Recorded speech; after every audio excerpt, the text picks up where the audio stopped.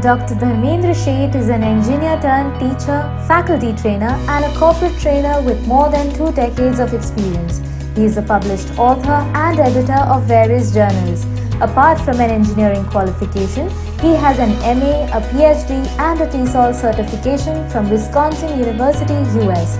He has prepared thousands of learners for tests such as IELTS, TOEFL, and PTE. During his tenure as a national vice president, English Language Teachers Association of India (ELTI), he was instrumental in strengthening networks of ELT professionals in India. Currently, he runs his own language training and consultancy firm, Fluent Lingua. He has been a member of the advisory board for English and Foreign Language Institute of Symbiosis, Pune for two terms now. We are honored to have Dr. Dharmendra Sheth with us today. We welcome him at MIT ADT University.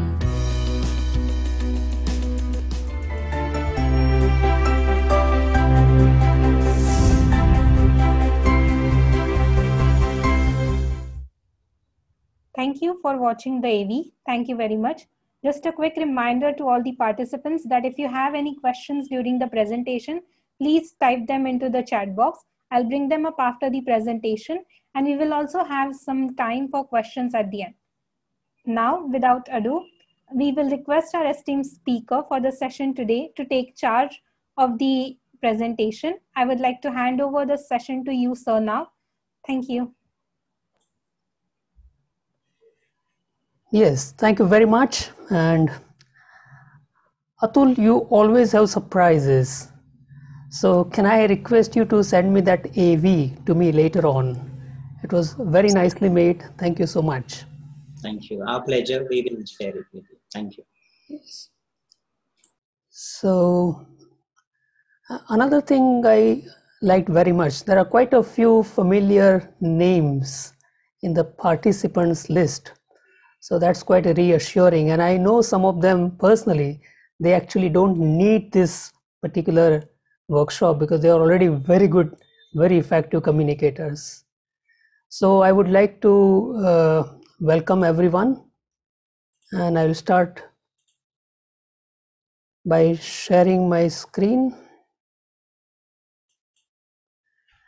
Just let me know whenever there is any problem, audio, video, Yes, sir. Yeah, and I'm sure one of you uh, will let me know at regular intervals whether everything is okay. Definitely. So let me begin by thanking the organizers, MIT ADT University. I have often talked about vocabulary, but this time I wanted to do something a little different from what I've done so far and because this time the audience is not just English language teachers, we have teachers of various subjects. So that gives me an opportunity to expand my scope of the workshop. So this time, um, what I have done is, I have prepared a long presentation. Long in the sense it can last for 300 hours and we have only one hour. So what I have done is, I have put my slides, whatever I want to discuss with you, plus whatever material I want to share with you, that also I have put in the presentation. And as I said, it is a little longish, so we might have to abandon, like a great poem is abandoned after some time. So we will also abandon our presentation, our discussion. So let me know whenever my time is up and when we have to begin question answer session. Sure, sir. And as usual, I begin by seeking blessings of my gurus, Dr. Sudhakar Marathe and Mrs. Marathe. They are in Pune right now. Now the next two slides will decide what we plan to do. So I would like you to have a look at both the slides very carefully and think about them.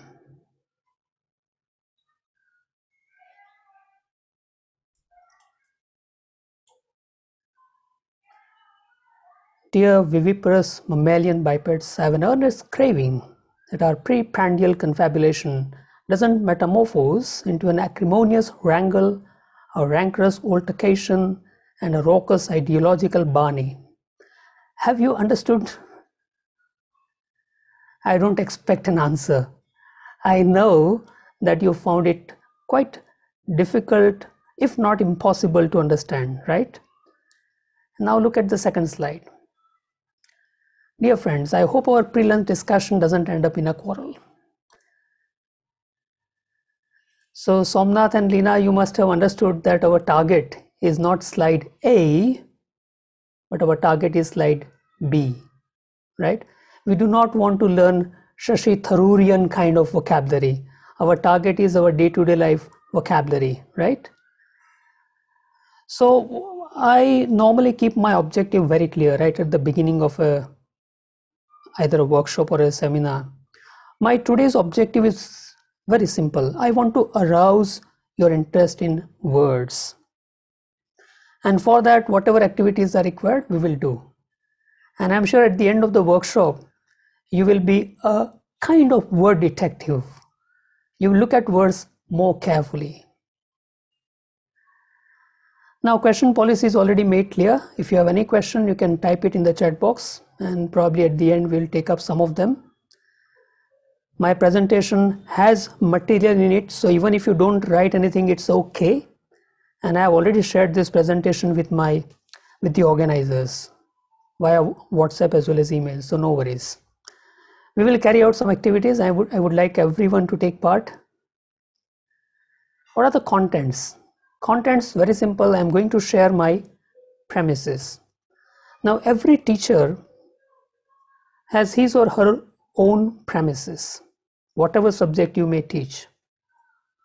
So as far as the English language is concerned, and as far as vocabulary study is concerned, forget about vocabulary teaching, I'm talking about vocabulary study. I take myself as a, as a vocabulary student. I have been studying vocabulary for probably 20, 25 years and still I feel that my vocabulary is not enough. So on the basis of my experience, whatever premises I have formed, I will share them with you. I'll share some methods of improving vocabulary.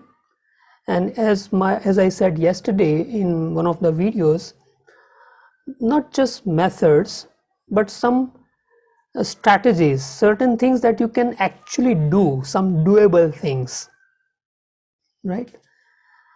And then there'll be some tips with examples as usual. Now, as everyone knows, variety is the spice of life, right? In the same way, vocabulary is the spice of language. If you use the same words again and again, it's boring. You yourself will not enjoy it. So you must have a, a range of vocabulary. You have to use, you should be able to use a variety of uh, expressions. So today probably you will learn how to spice up your English. For example, if somebody says use your brain, so in place of that you can say use your noodle, use your loaf, use your gray matter, right? So that is what I mean by spicing up your language. My second premise is words in isolation they have no meaning. They just have meaning potential. That means word, this particular word can mean A, B, C, D, E, F, G, depending on the context. That means the situation and the context, words before and after that particular word. So, for example, if you hear a word I, then different people will have different images in their mind. They will understand the word I differently. Atul might understand it as a, as a part of your body, right? The organ with which you see. Somebody else might think about potatoes. Potatoes also have black spots on them, so they are also called eyes. Somebody might think about a hurricane, right? the calm center of a hurricane. That's also called a, the eye of a storm. Somebody might think about sewing, right? A needle, a needle has an eye through which you pass the thread. Somebody might think about an animal in uh, North America. That animal makes I I sound, and that's why it is called an eye. Somebody might think about I I sir.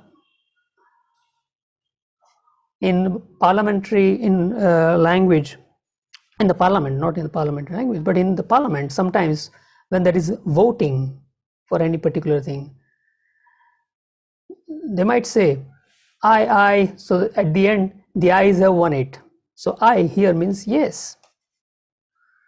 So you can see that the word i does not have meaning in its in itself. It is the context and the co-text that gives the meaning. You can take any simple word and you can check that. My third premise which is not very uh, positive it may be a little disappointing for many but it is a fact of life. We can never ever do enough to improve our vocabulary. You have to keep working as if you are fighting a losing battle. Because even if uh, you have read you know 20 25 books and you have studied for years and years and years still it might happen that when you need a particular word that might escape you may not be able to get hold of that word. It happens. So for that i uh, took this particular picture. Does anyone know about this picture? What does it indicate? You can write in the chat box if you can. Anyone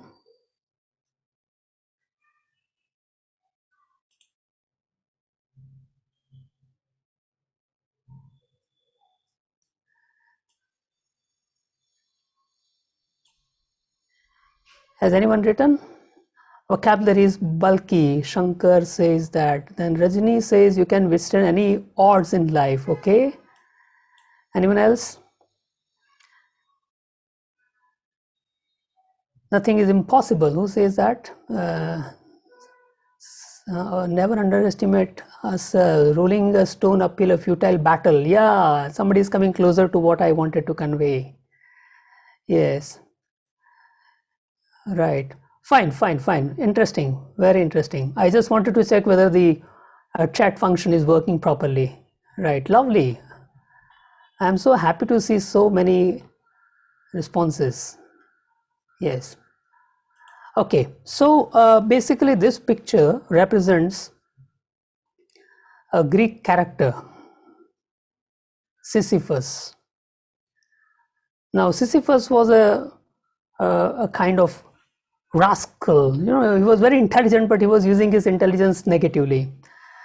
And he uh, used to play tricks on gods, and gods were angry. So he was given a task. He had to roll that boulder up the hill. And it was so planned that as soon as the boulder reached the hill top, it will roll down back again. So again, he had to come come back to the bottom, and again he had to roll it up. So it was a kind of constant labor. And it was a kind of unrewarding labor. He was not able to complete his task. So sometimes vocabulary study is also like that. It is boring tiring. You feel frustrated disappointed dejected. But still you have to keep working. And you have to develop a kind of ability to derive pleasure from the effort itself. You get the point you have to derive pleasure from the effort itself. So you don't have any goal as such right? So that is my third premise. I love vocabulary. Adore. So uh, vocabulary study task can be a sisyphean task but still yeah, you are not supposed to read this particular slide because as i said the material is given in the presentation itself so that you can read later. My fourth premise is you cannot take just a part of a word for example spelling. So if you know the spelling that's not enough. If you know the pronunciation that's not enough. If you know one particular meaning that's not enough. If you know a particular use not enough. So you must know everything about a word. That should be your focus. Right and as you know, every word has multiple uses. We have just seen in the case of the word I. You take any random word, for example, a chair. A chair is, a, is an item of furniture, you know that. A chair can be, you know, a topic of discussion. The chair can be the topic of discussion in legal circles. It's a kind of punishment given to some criminals. Then who chairs the Department of Philosophy? So there it has a different meaning. After the match was won, the captain was chaired to the pavilion. That's another meaning. So every word has multiple meanings, multiple uses, different contexts, different formalities. So look at the word in totality. We are going to talk about it in detail later on. My fifth premise, I don't know whether you're able to see the whole thing. Can you see the whole? Yes, sir. Yeah. So my fifth premise is a casual encounter. For example, today I speak a particular word which may be new for you and you look up in a dictionary and you find out the meaning. That is just one casual encounter. Now, such a word, even after you look it up in a dictionary and understand it, it will not be a part of your active vocabulary. For that, it has to pass through a system, right? Like a chain, a closed loop, I would say. So you learn a word in a very, you know, superficial way. Then you study it in detail. When you study, you compare it with others. For example, if you come across a word stare, right? Stare.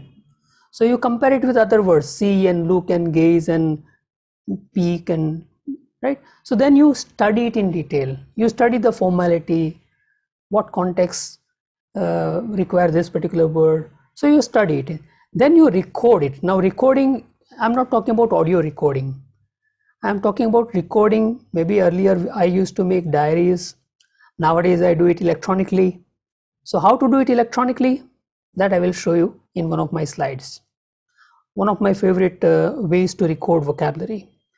Then recording, if it is not touched, it is useless. So you have to revise and how to revise that also I'm going to share electronically. And everything is absolutely free, friends. Whatever resources, resources I'm going to share with you, they're all absolutely free. You can share it with others freely, no problem. And finally, whatever is not in use that is likely to get lost. So you learn a new word, study, you record, you revise, and you use it in your own real life situations. Then probably that word will become part of you. You will be able to own a word. And obviously, whatever you own, that only you can use. If my neighbor owns a car, I can't use it. But if I own it, I can use it. So, how many words do you own? That is the game changer. And last, a very quick slide. Does a large vocabulary help? And if we had say three, four hours of workshop, then I would ask you to say, but here I am taking liberty and putting your answers on the screen. With a large vocabulary, you can see more. Yeah, I can prove that. You can uh, hear more, you can read more.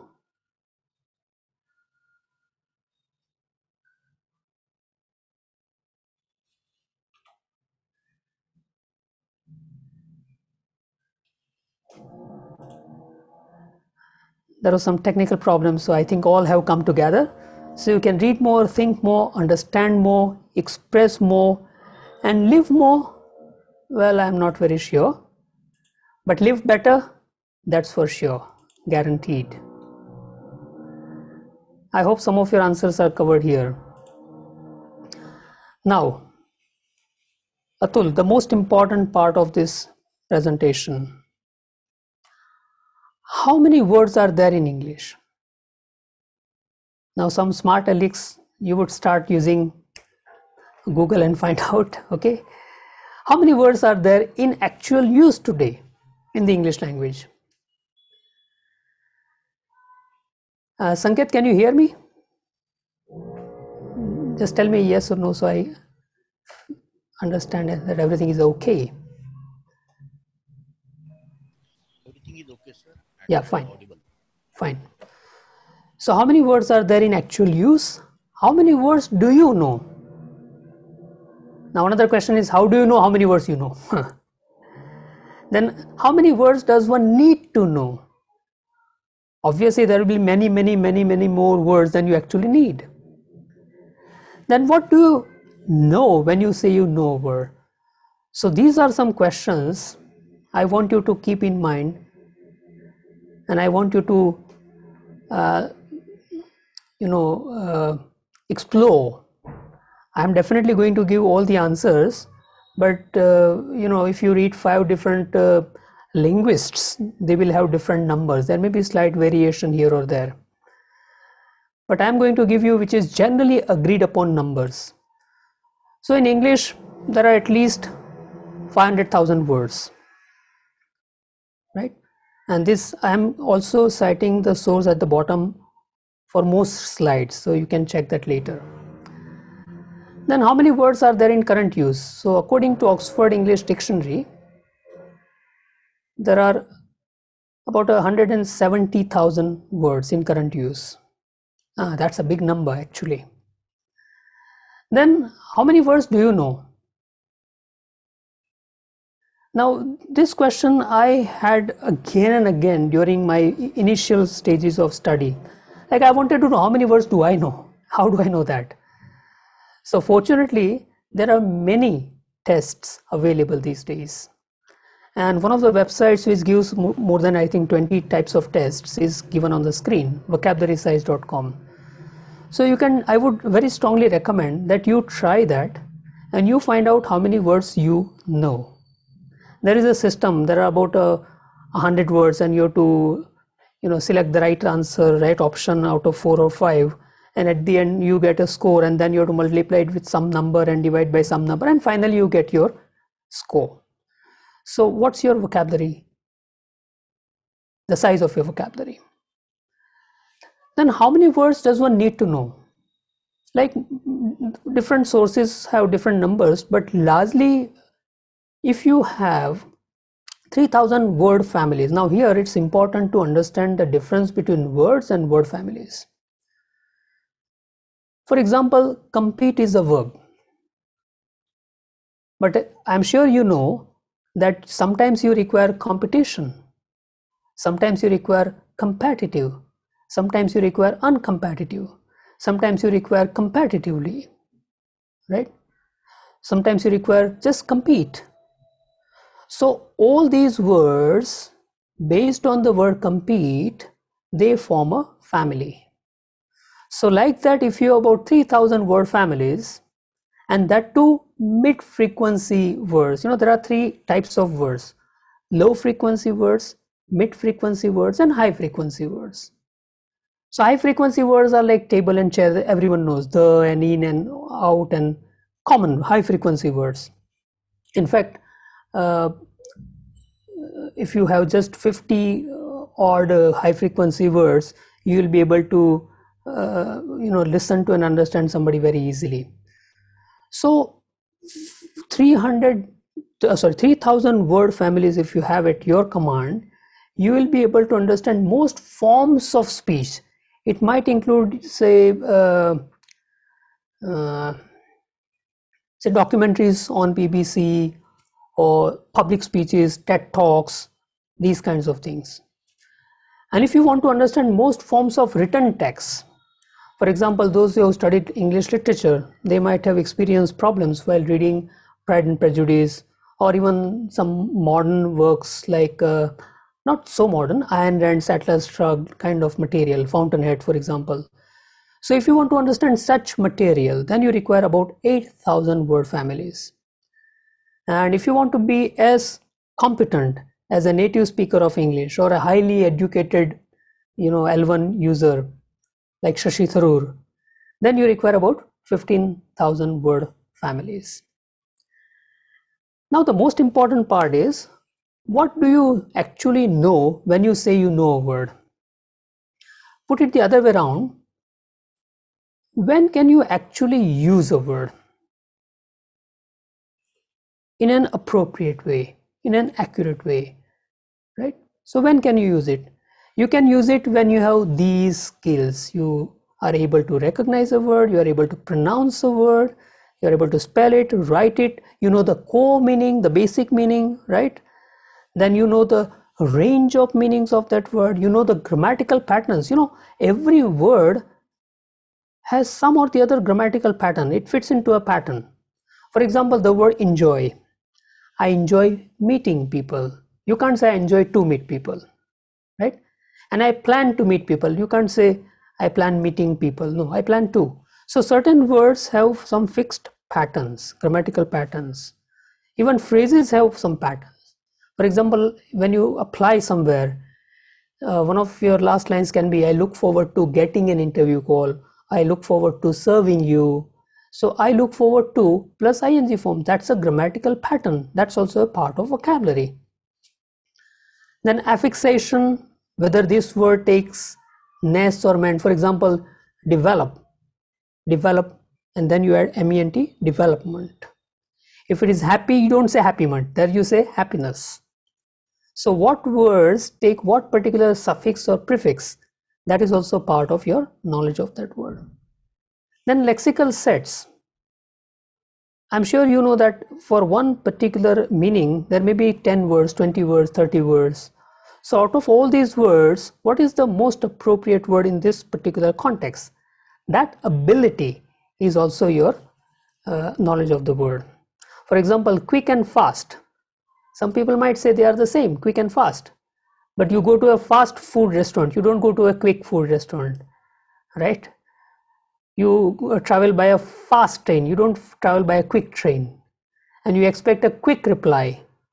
So different words in a lexical set will have different scopes or different areas of use. Then associations. Some words have, as you know, positive associations, some have negative associations. Like dictator. The moment you hear the word dictator or dictatorship, you think about Hitler, right? Danger. So that is the association of a word.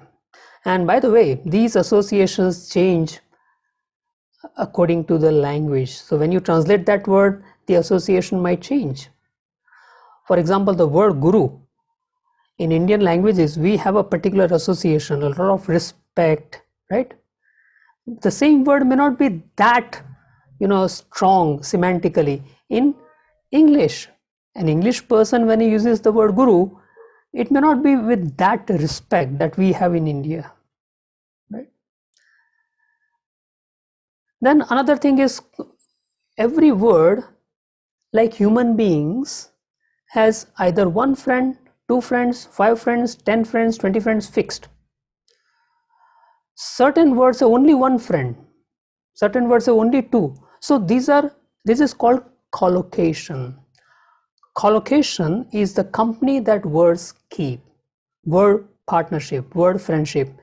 In fact, if you get this one point from today's presentation, I'll feel that my day is successful. Collocations are so important in language. Let me give an example. Suppose somebody says, Yesterday I did a mistake. Now the message is conveyed, but at the same time, those who know English, they will immediately say there is something wrong. Lena will immediately say, You can't do a mistake, you make a mistake, right? So collocations are word partners, word friendship. I am going to spare, uh, spend some time on that after this slide immediately. Then you also know limitations of words. Then frequency, whether it is a commonly used word or not. For example, a word like serendipity. It's a very interesting word. I love it. I have used it very often. My teachers use them, but it's not a high frequency word. So when I use it, probably people may not understand or may understand because of the context. They may have to make a guess, right? So what frequency, whether this word is a high frequency word, low frequency word or mid frequency word. Then use, if you are able to understand the word, that means use it receptively or whether you are able to use the word productively in your own language. So when these 14 criteria are met, then you can say you know that word you own that word. That word is at your command and you will be able to use it confidently. So these 14 points are given by one of the greatest vocabulary uh, experts in the world paul nation and if you want to know anything authentic about vocabulary, refer to Paul Nation's material.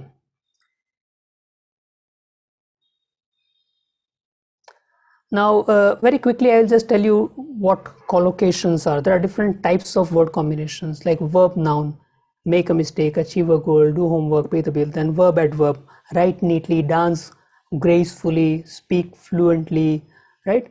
Sing melodiously or mellifluously. Then adjective nouns, a glorious victory, a bright star. Then we have article, noun, and noun, like like a brick wall. So brick is a noun, wall is also a noun. So here the first noun functions as an adjective. So that's another kind of collocation. A plastic chair, right? Then some, you know, when you become an efficient user of language, then you will not make three different sentences like this. That's an animal, that's an active animal, and that animal is active at night. You won't say like that. You will say that is a nocturnally active animal. So here you will get economy, efficiency, and grace. Right? Okay, so that's about collocations. And one more example probably. Some collocations are very strong. For example, a word like inclement. Now that word is used generally with weather. That's it. Inclement weather. That's it out of probably 1000 uses of this particular word that you find 999 will have inclement weather so that's a very strong collocation then a slightly weaker like abject you can have an abject uh, failure many people in the world they live in abject poverty abject misery abject apology so abject has a few uh, words that go with it. Picturesque has a few more. And the word like good, it's a very weak, it forms a very weak collocation. Why? Because good can be used with a person, for a book, it can be used for a movie, this and that. Hundreds of things can be there. So it's a weak collocation. For you, what is, what is more important is the first, probably first three types, like stronger collocations. And that's why there are dictionaries available for collocations. And now I'm going to share five extremely useful online resources for vocabulary development.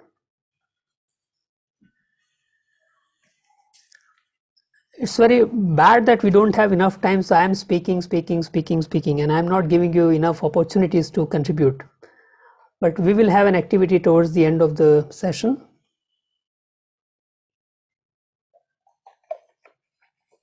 And probably today is just our introduction with each other. And I hope that we will uh, continue communicating later on. And that's why I already shared my contact details in the presentation. So five useful things.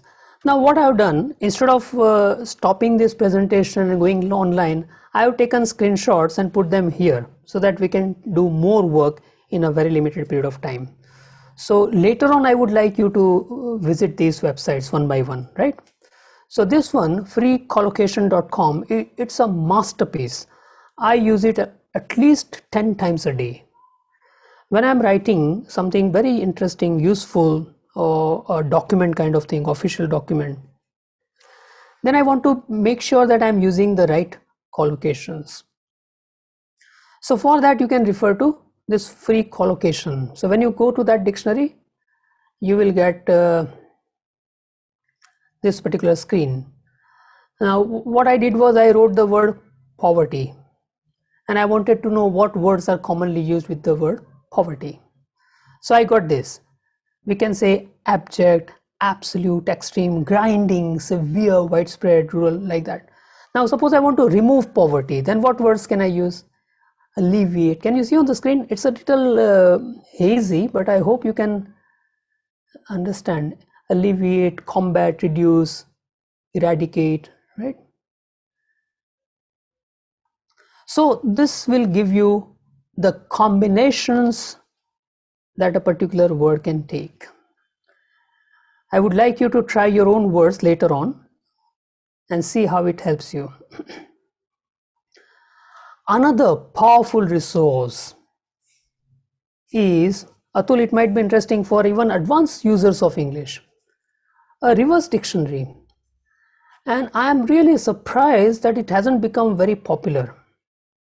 In fact, Reader's Digest was probably the first company to, first of all, make a reverse dictionary.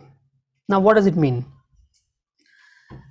Suppose you have, uh, you're looking for a word for a large amount of ice or snow and rock falling quickly down the side of a mountain. Now you don't know the word, for example, or you may have heard it or read it somewhere, but right now you've forgotten. Then a regular dictionary will not help you. A regular dictionary will help you only when you have some idea about the spelling and the pronunciation. In this case, it won't help you. Does anyone know the word for that? Please write in the chat box.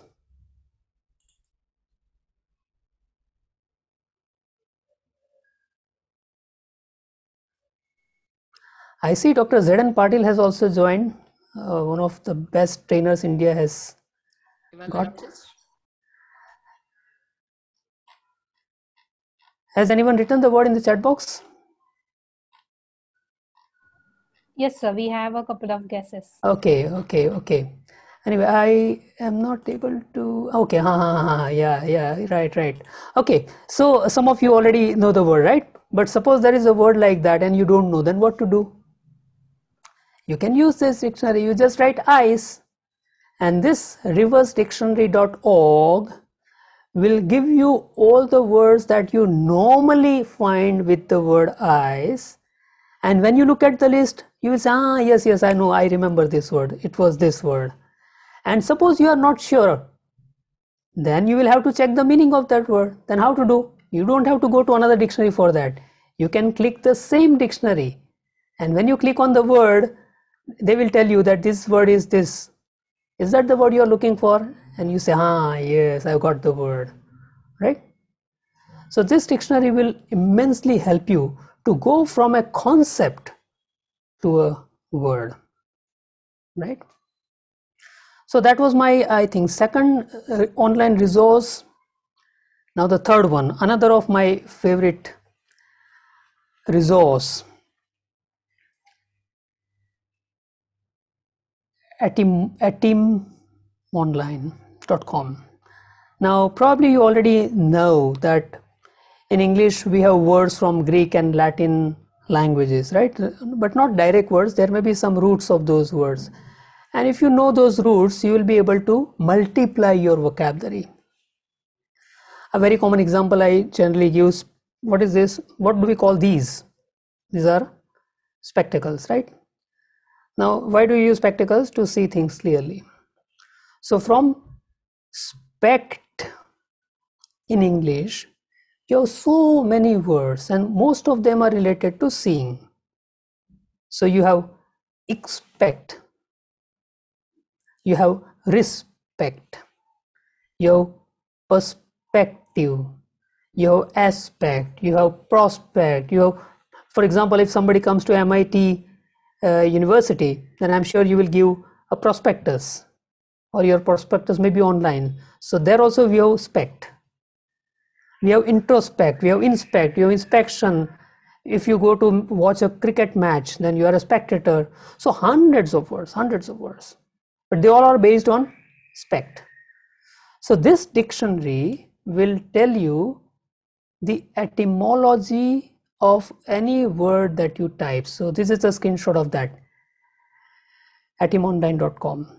So here I have written the word psychology just as a sample. So you will get information about the word that this particular word is based on psyche, which means breath or spirit or soul, and logy is study of, so psychology is study of mind. Now, if you write physiology, you will get another root for the first part, right? But the second part logy will remain the same. So, phys is related with body and psych is related with mind. That's why we have uh, psychology and physiology. We have psychiatrist and we have uh, physic then uh, I'm sure there are many words based on such roots. Right? Then the fourth source, which is also a very powerful source. If you are interested in you know improving the quality of your language, then I strongly recommend using this resource at least once a week in detail. Once a week, spend an hour on this phrases.org.uk.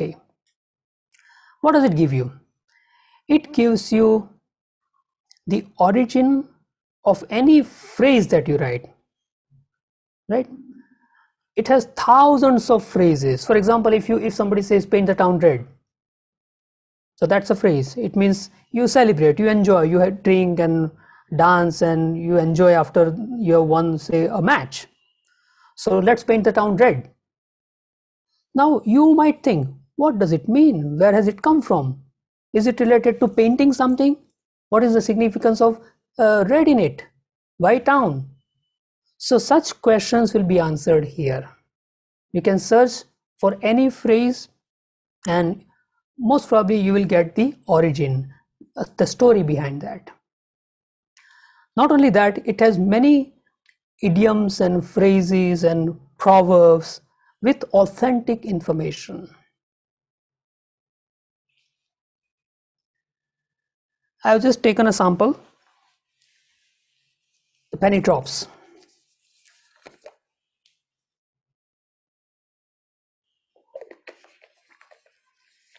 Why have I selected this particular phrase? Because when I was reading one of my favorite novelists, Dick Francis, uh, I wouldn't recommend it to the beginners or English language learners initially, but after you com- you are comfortable with the English language, you can start reading material like Dick Francis. Now, in one of his novels, uh, or maybe it was a short story, in that he used this expression, the penny drops, and my goodness, I couldn't guess the meaning from the context also. It was a very complex theme at that time so then I struggled and I found out the actual meaning. And then I wanted to know where has that particular phrase come from? So a regular dictionary will not help you. And where will you look up such uh, to, to you know gather information for such queries? So for that this phrases.org is a wonderful resource. And another very practical practical online resource which is underutilized is dictionary.cambridge.org. Now you might say, what is there? It's a dictionary. You type over and you get the meaning and pronunciation and example sentence. What's what else? No. This dictionary is another game changer. It can help you all the five things that I mentioned earlier it can help you learn study revise you know you can record and revise and then use right and again you can go back to those words so this dictionary has a particular feature which i am going to share with you. Even those people who have been using this dictionary for decades they may not have uh, you know tried to use this particular feature. So let me share that with you. So this is the dictionary. When you uh, type in dictionary.cambridge.org, you will come to this page where normally you can write the type the word and you get the meaning. That's fine. I want you to do one step further. Can you see on the top login? So you can log in using your Facebook or Google account or you can create your new account using your email. I would very strongly recommend creating that. And another thing which I want you to understand today and start using from today is this plus. Do you see on the top? Can you see my cursor? Siddhi? Yes, sir. Hmm. You can see your cursor. Yeah. So this plus, that is Dictionary Plus, Cambridge Dictionary Plus. That feature I am going to share with you. So when you when you log in, you will get this page. So normally people are already logged in in Facebook or Google, so you can or Gmail, or you can create your own account. Suppose you're logged in, then suppose you see a word serendipity, okay, then you want to remember that word and you want to study that word. Then what you can do? Can you see the plus sign here? So when you click on the plus sign, this particular window will open. Now you can create your own word list, new word list, or you can add this word to one of your previous word lists. And then those word lists will be converted into quizzes and you can practice them as quizzes. You can revise them as often as you can. So normally what I do, I make word lists month wise. You can see here June 2021, July 2021. So in the whole month, whatever new words I come across, I put them there. I make a word list. And whenever I am free, I just play that quiz like a game. And I can do everything on my mobile. It's such a powerful resource. You can download that also. You can take printouts also. You can study them in isolation if you want. Again, come back to this. Now, suppose you say, I don't have time to make my own word lists. No worries. Cambridge has already created hundreds of word lists for you according to level and according to uh, topics. So,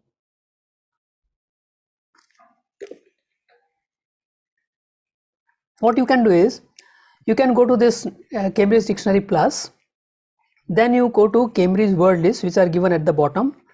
I will show you in the next slide probably if I have. But otherwise here at the bottom there will be hundreds of lists ready level wise and Cambridge has uh, some course books. So according to course books also they have prepared some word lists. So for example if you want to practice words connected with uh, the environment so you have level wise lists you can practice. Right? Now, not only for words, even for grammar, they have given quizzes. Like if you want to master this ed form or ing form as adjectives, whether I'm sure you know that ed form has one meaning, ing form has another meaning when they are used as adjectives. Like I'm interested in something, so there I say interested for a person. And if I say the book is interesting, right? So like that you can study grammar via quiz. And another very powerful feature is image quizzes. So on the screen you are even if you have two minutes, just two minutes, you can try that quiz. So on the screen they will show you an image. You uh, select the word and if it is correct they will say fine. If it is incorrect they will tell you you can practice, you can re re redo that amazing you can go for further information about that word also so that was my part one of the presentation if there is anything very important some question which we have to handle now only then we can take. Otherwise we can go to part two. Uh, there has been a question but it can be answered at the end. So at the end. Okay fine. Yeah fine. Okay, so now part two.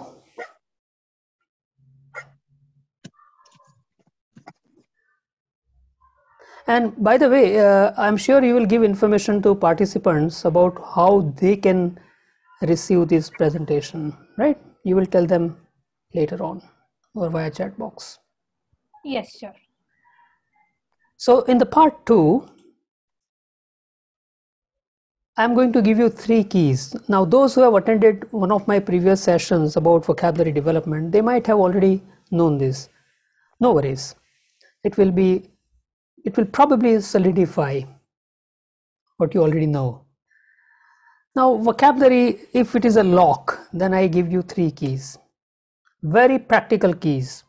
They are not given in any book as such. This is just some my like on the basis of my practical struggle I have created this. The first key like it is not www as we all know world wide web it's not like that this is something different. My first key is look at the world. Like we come across many things around us but we, we don't normally bother about the english word for that. Right? I'll give you examples later on. We'll talk about all these things in detail later on. Second is look at the word.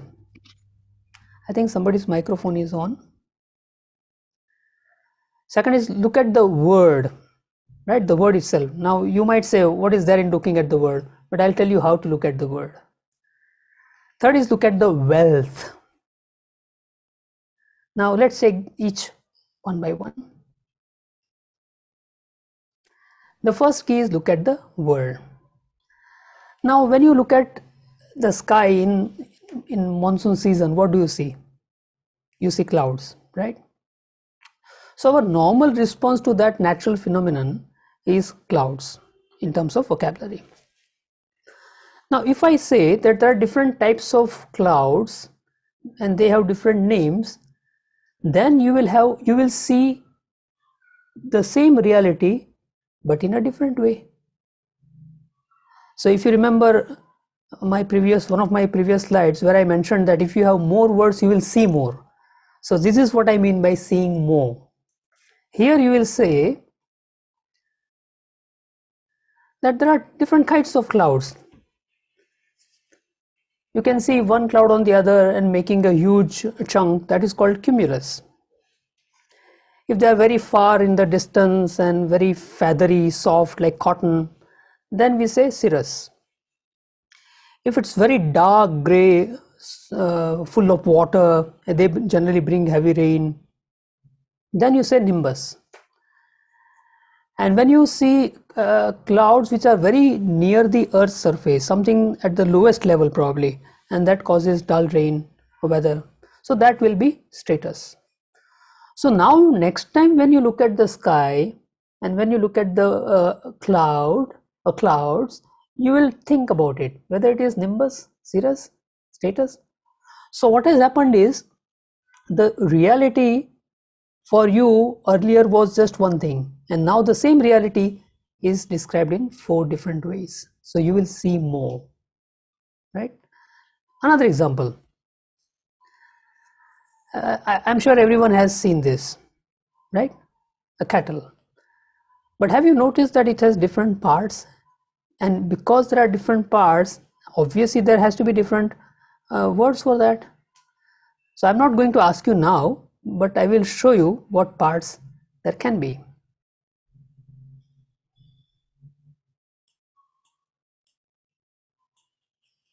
right?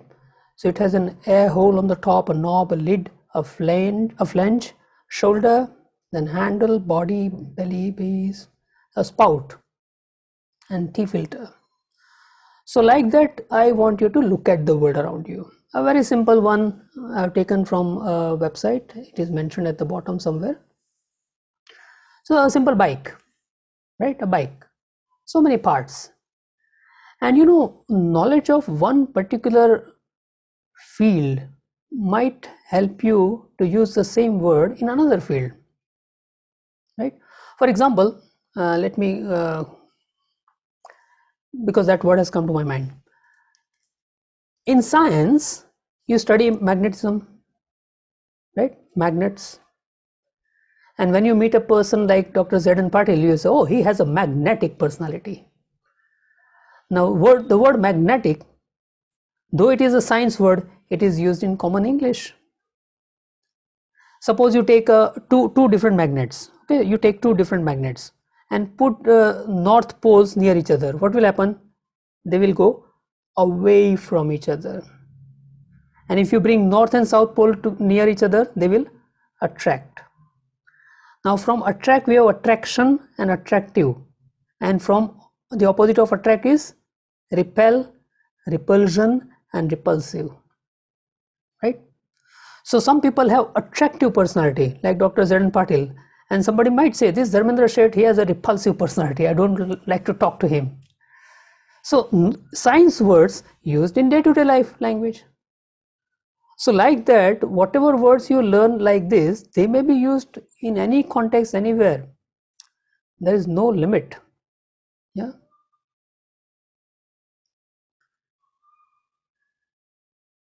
Now let's play a quiz. And now uh, I would like you to type the word in the chat box as soon as I show you something on the screen. Many of you are very quick at typing, so I think it will be very interesting. And hopefully we'll be able to see your answers.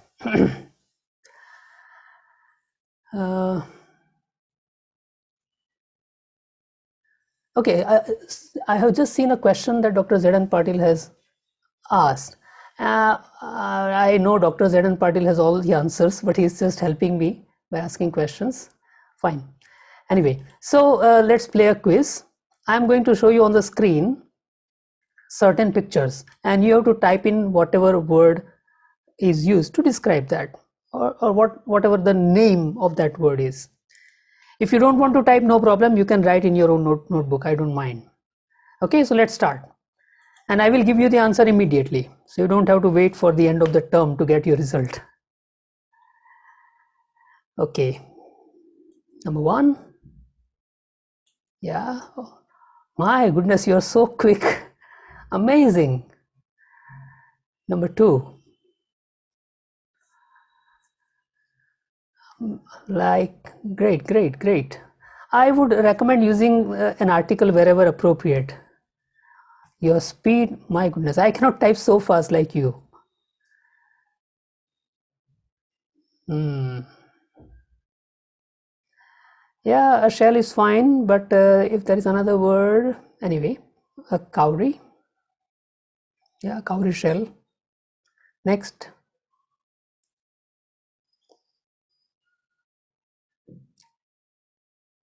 Uh, Krishma.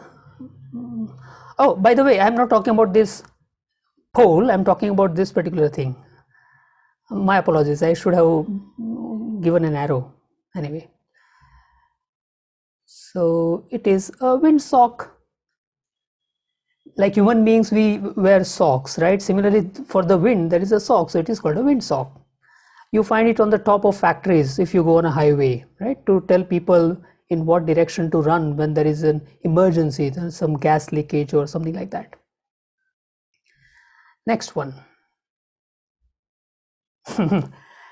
Uh, go back to your childhood days.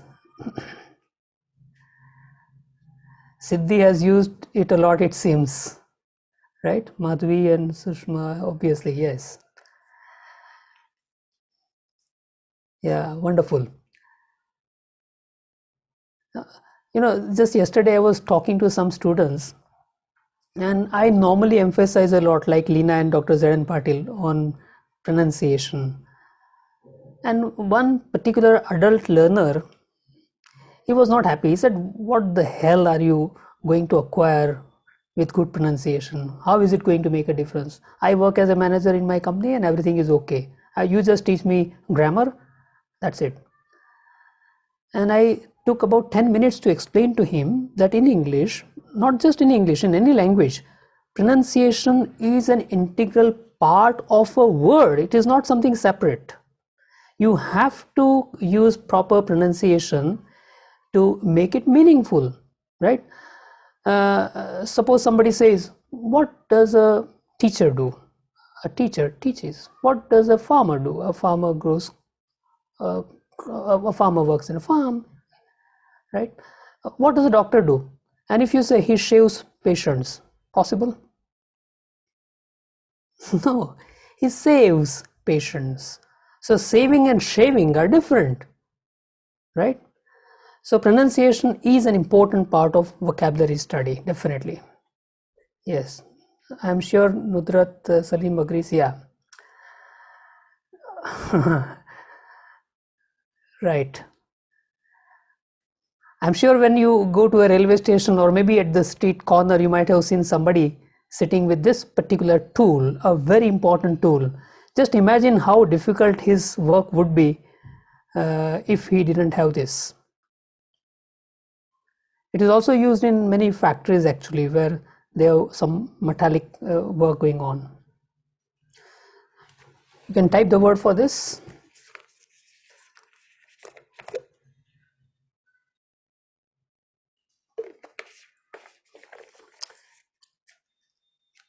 Uh, Kanakdas and Siddhi, you are very creative and I appreciate your effort.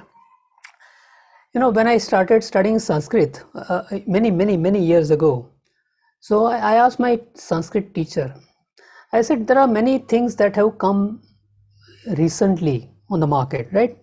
When Sanskrit was in use at that time, we didn't have that thing itself. So, what do you do? How do you create words for that? So, he gave me a very interesting example. He said, What is that? So I said, That's a tube light. So he said that in Sanskrit we want to convey that message. We say Deep Dandika. So Deep Dandika, Deep is a known word in Sanskrit, right? And Dandika, Dand, that stick kind of thing, we know that. So Deep Dandika is a word created to convey that tube light. Similarly, somebody has used here shoe stand and somebody is very honest, he says, uh, I don't know. Madhvi, yeah, good yeah shoe something Mohammed says shoe something very interesting anyway the very simple word for that somebody has already written actually and an anvil yeah. Anyway next.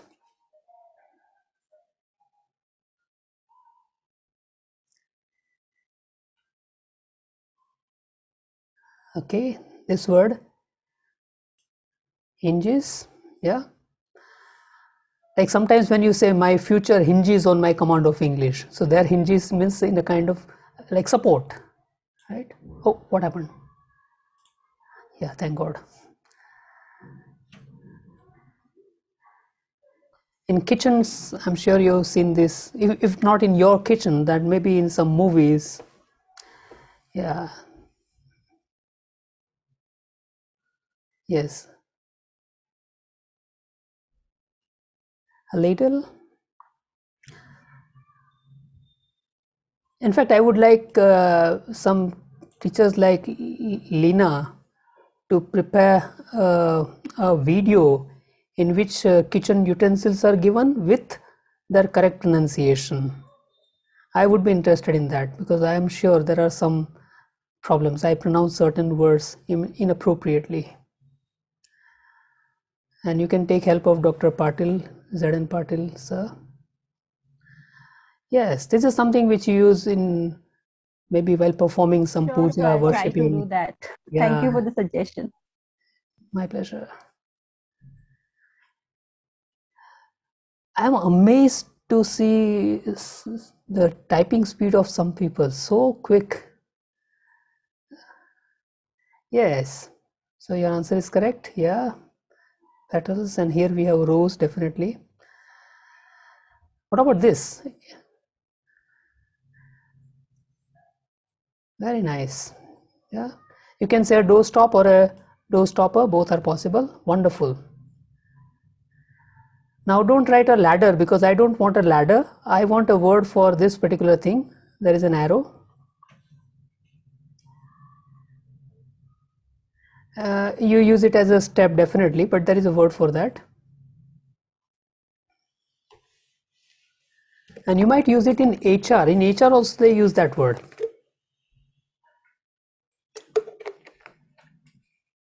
exactly yes Shankar Rang right Madhvi correct now I think the second last word in the list I'm not talking about the flame. I'm not talking about the whole candle. I'm talking about, yes, yeah, Tulsi and Madhvi and Nilam. Yeah. Right. A wick. Next.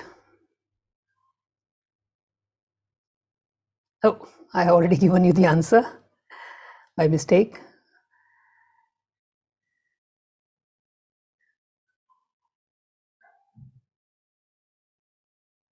It was a rake. now you know how vocabulary uh, different like one word from one particular uh, context when it moves to another context, you can make a guess about its meaning. For example, if I say that new movie is raking in. Now, there raking in means making a lot of money, right? Fine, lovely. So that was looking at the world. Now, second, now we'll have to do a little faster probably. Uh, look at the word. Now, suppose there is a word like preposition, right?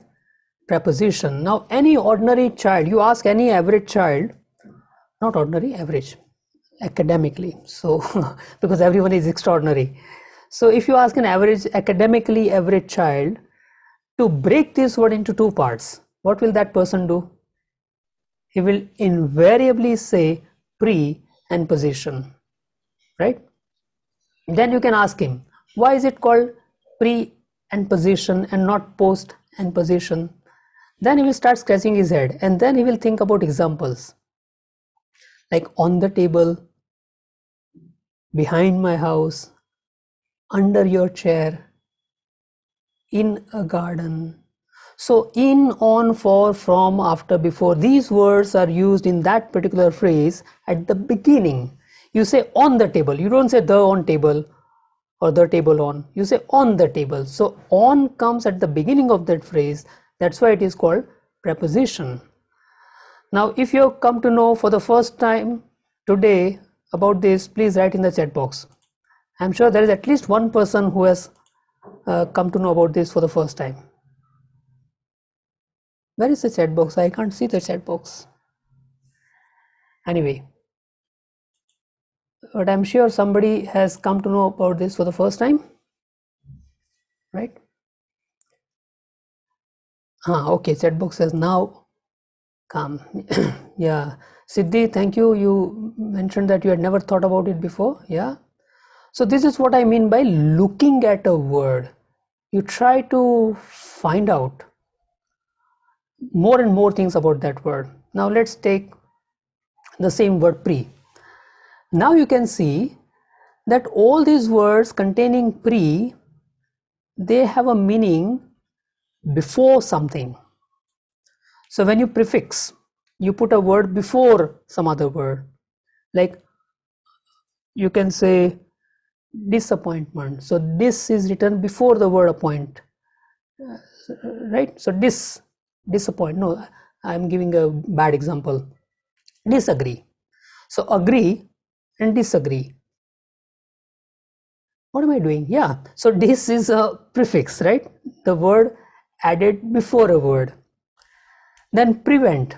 So you put a halt to something, right? So before that event happens, you do something when you precise so size is about cutting so you remove all the inaccuracies and you have a precise thing similarly all these other words like prejudice so when you have some prejudice against somebody that means you have already judged something before something right? Preview obviously then predict. Now dict dict is about speaking right? About words speaking diction dictionary right? Dictator dictatorial like that. So dict is about speaking saying. And pre means before so when you say something before that actually th that thing actually happens so you predict right? So pre is a very powerful root and you can now see for example the word prefer i prefer tea to coffee. So my preference is for tea right? Because i'm a teacher. So prefer their way of fare is about carrying things from one place to the other and you bring something before something else. So that is prefer. So like that you can study words when you look at them in detail. Like prospectus as we discussed spect is a root and from that there are so many words in the english language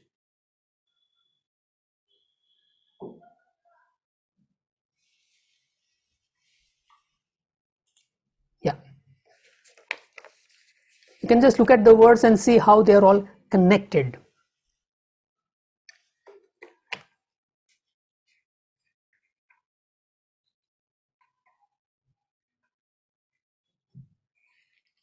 If you have a word like transport then port is porter is the root which means to carry. Now from that there are so many words.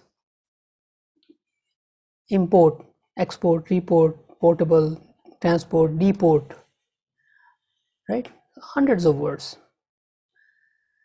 Now i'll take a, a little faster because there are so many examples. Like when you see all these words are they connected in any way? Then you will say yes of course they are connected. They are connected because there is a root latin root vit or viv which means life so vitamin is related to life. Revive is giving life to something. Re means again viviparous a type of animal which gives birth to a, a fully grown kind of child. And vital vivacious. Some people have vivacious personality like atul patil right? I have seen his uh, presentation when he became a magician a teacher magician. Atul do you remember? Yes, that symbiosis. Symbi- yeah symbiosis yeah. Then revival viv- uh, vivid all these are connected to the same root.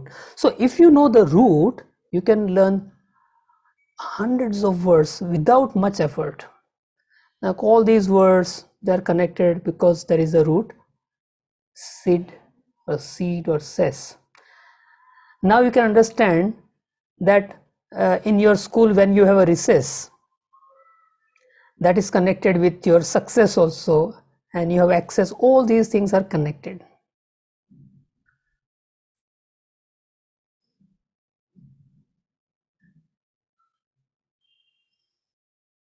This is for study material okay? So you're not read, supposed to read everything here.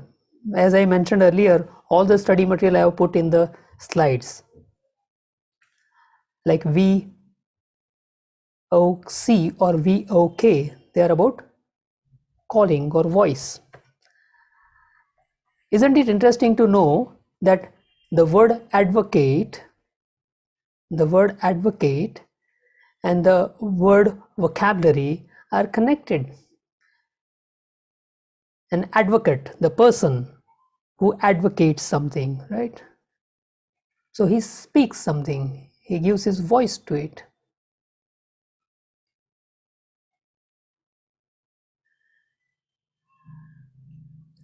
Then pro is a very common uh, prefix which can give so many words. Pro means towards or for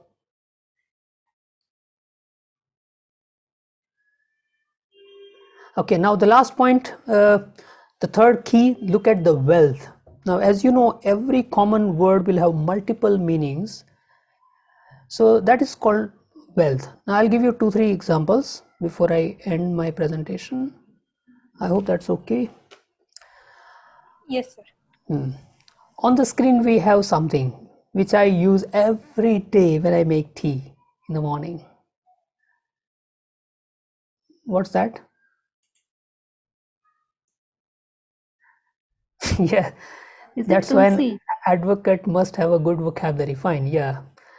Uh, yogita you are correct. Your answer is correct. Yeah it's nothing but mint now mint is a very common word right you know that but do you know that it this word has various uses in different contexts so the first primary is i like the smell and taste of mint fine no problem a mint is a place where coins and notes are officially made, right?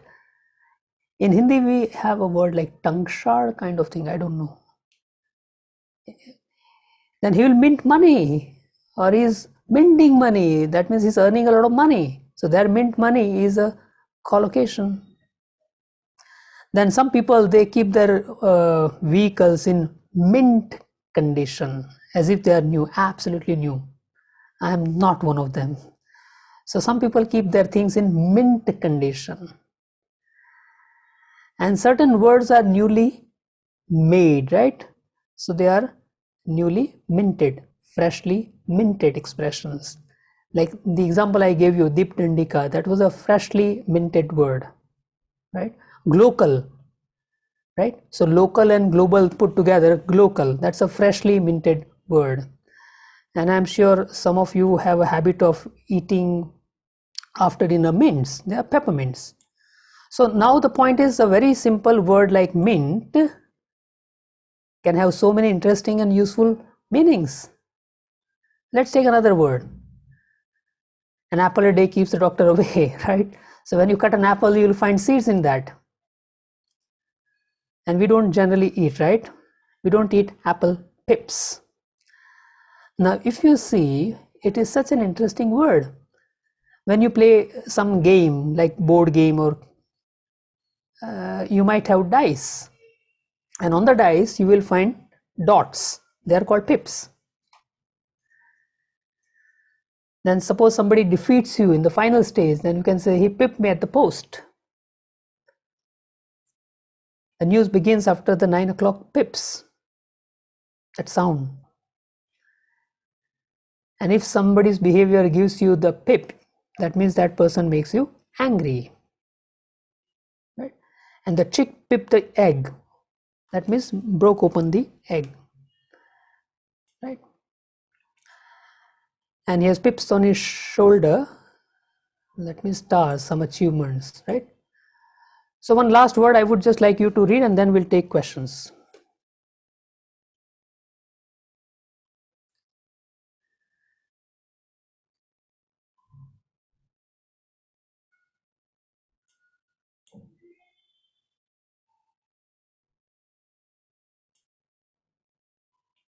Okay otherwise if i don't uh, stop speaking now somebody might put me behind bars and i don't want that to happen. Okay. So that's my part 2 and part 3 is for self study which i have already shared so that you can study later. In that i have given 21 ways to improve vocabulary with example and with support material. So uh, that's from me. Uh, now I invite questions and I'll stop sharing my screen if you allow. Yes.